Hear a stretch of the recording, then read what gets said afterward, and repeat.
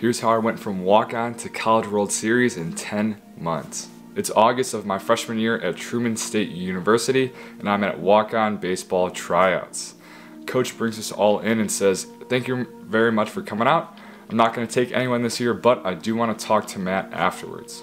Coach brings me in, basically critiques everything about my pitching, and says that he was going to keep me, with one exception that he was going to drop my arm slot from over the top to sidearm. So basically, I had the whole fall to reteach myself how to pitch, becoming a sidearm pitcher. And if it works out, great. And if it doesn't, he could cut me at any time, obviously, because there's no money invested in me. Throughout the fall, I think I'm one of the top freshman pitchers. I throw pretty well during our scrimmages and stuff. And this sidearm thing, I was able to pick it up pretty quick. Fast forward to winter break the online roster comes out. Everyone's so excited. It's their headshots. They get their jersey number, and I'm at home. I pull up my phone when my buddy texted me that it was posted, and I'm scrolling, scrolling, scrolling, and my name is at the bottom with no number next to it. So, me, like the young, dumb freshman that I was, I call up coach and say, Hey, coach, what does this mean? And he goes, Well, Matt, that means you're redshirting. You walked on and you're to redshirt your freshman year. And I was extremely disappointed and frustrated because I believed that I was one of the top freshman pitchers and that I could really contribute to the team based on how I performed relative to all of the other freshmen and stuff like that. So, the whole beginning of that next semester, January, February, before the season started, I did so much at practice. I did so much on my own, especially when the team was traveling. The whole team was gone and it was just me left in Kirksville, Missouri, if you've ever been, don't. But I was running on my own. I was doing everything at practice, just staying ready, staying angry, staying hungry. Then fast forward, we're three weeks into the season, and two two pitchers got hurt. And it's a Tuesday. We have a Wednesday game at practice, and coach yells from across the field, Tometz, come here. And I'm like, oh my gosh, like, I'm gonna get yelled at again because my whole freshman year, I was the kid that he yelled at because I was the walk on. I run over and he goes, hey, you're suiting up. Bring a duffel bag before our game tomorrow.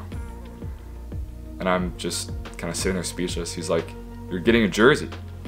And I just run back. I'm so excited. All my teammates are excited for me because they know they knew how hard I was working and everything. So it's that Wednesday game.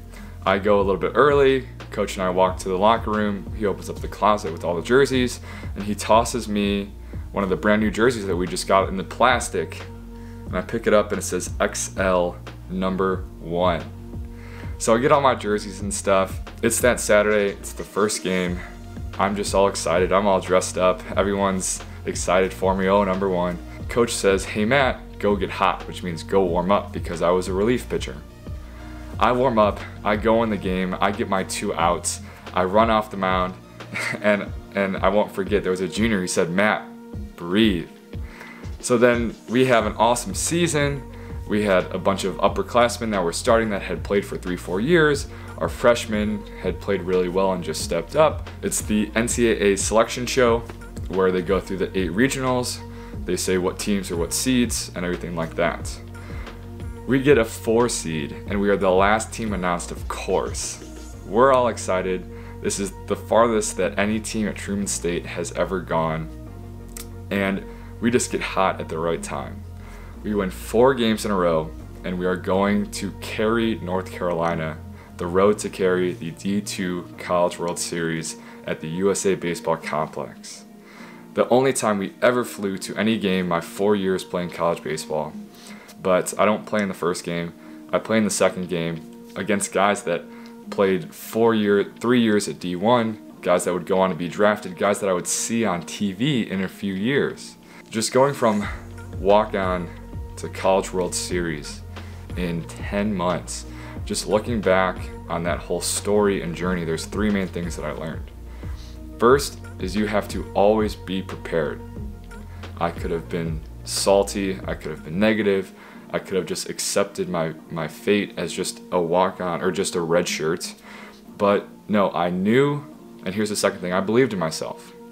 I believed in myself. I kept myself prepared. I honestly didn't even expect, oh, maybe some guys would get hurt, but I just knew that I was better than just a red shirt and that I could really contribute, and that's how I prepared myself. Especially when I had all that free time, when I was left by myself when the team was gone, or even just when I had my opportunities at practice. But the biggest thing that I learned from that whole thing is that everything really does play out how it should, no matter how long it takes to realize that. And I know you just rolled your eyes at me, but let me explain. It was my senior year at Truman, and I was just reflecting. I was the president of a club or two, and I was just giving the about me. And although walk on wasn't my identity, I always shared that story of what I learned from it and how reflecting on all the good grades I got, all the clubs I joined, everything I did that helped me get my graduate assistantship at TCU. If I was given a jersey right from the beginning, I don't think I would have worked nearly as hard. And I wouldn't have learned all of those things that I'd learned and developed the work ethic that I did. And it looking back, it all plays out obviously. I wish I wasn't so angry for that freshman, sophomore, junior year that I could have realized that it just was what it was. But four years later, I'm in some of the record books. I have a fantastic four years, and I'm just super grateful that I was not given that jersey right away, that I had to earn it, that I was redshirting, that I was the walk on, and that was the story that I made for myself. I was prepared, I believed in myself, and I realized that everything does work out no matter how long it does take. So that's how I went from walk on to College World Series.